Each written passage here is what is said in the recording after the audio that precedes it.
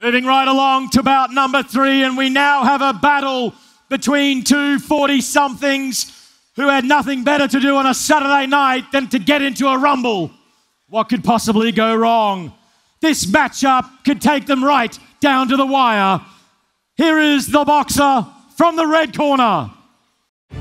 Coming from a rugby background, you do get hit, you do get hurt. It's a very physical sport, so I think it's a good preparation for boxing. My motivation for signing up for White Collar is to challenge myself, to test myself. To all my friends and family who are here, I just want to say thank you. Thank you for your support over the last three months, for being here tonight, and for your encouragement. To my opponent, I'll see you in the ring. I'll be victorious tonight because I've been in these situations before. I know the mental and physical toughness that this takes.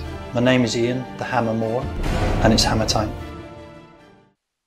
History of fighting runs in his family, but not the type you may think. Now, for a little piece of history. 106 years ago, in 1912 to be exact, our next competitor's great uncle was in for the fight of his life because he was working on the Titanic. Let's see if our next boxer has that steely determination running through his veins. He weighed in at 89 kilograms and is six feet three inches tall from Switzerland, representing Swiss Marine, Ian the Hammer Moore.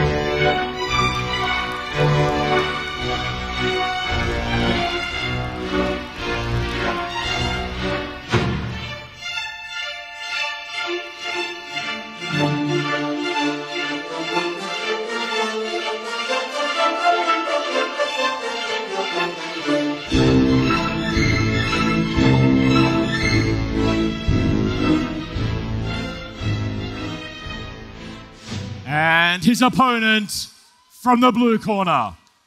I've been setting myself challenges over the last few years from building houses in Cambodia to cycling across Cambodia. Boxing training came as a shock to the system because being boxing fit is completely different to being cycling fit, for example. It was important to keep up with the group and maintain that level of fitness. To all my friends and family who are here tonight, thank you very much for supporting me. It's going to a great cause and here's to winning the belt. To my opponent, the very best of luck. You're going to need it, but we'll still be friends after the fight.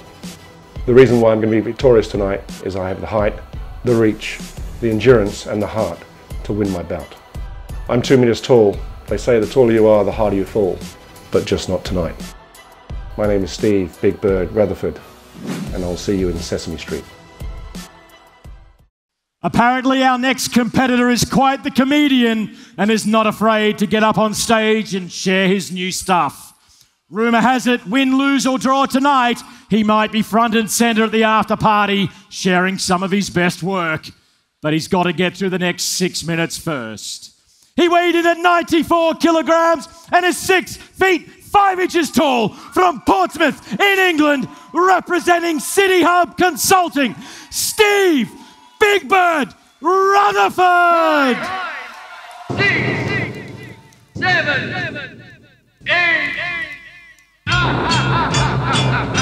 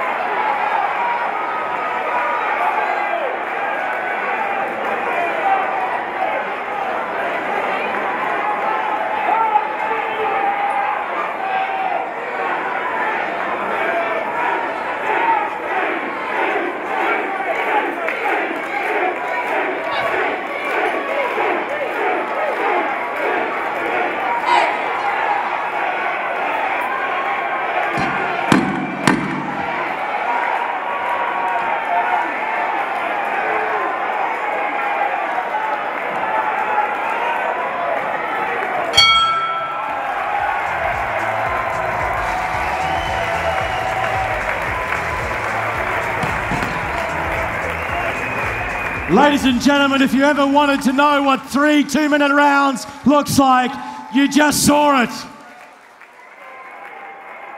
There is nothing left in the tank.